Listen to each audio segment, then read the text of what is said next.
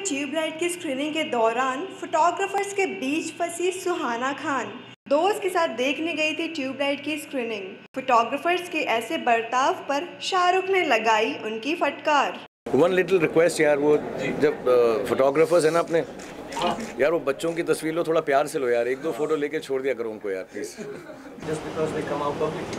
does not mean they want to be actors. My children will uh, finish their studies. Uh, मेरे घर में minimal minimum qualification graduate होगी वरना मेरे घर के अंदर uh, एंट्री नहीं मिलती। So they have to finish is still in 11, She has 4 or 5 years of studies, Aryan is about 4 years.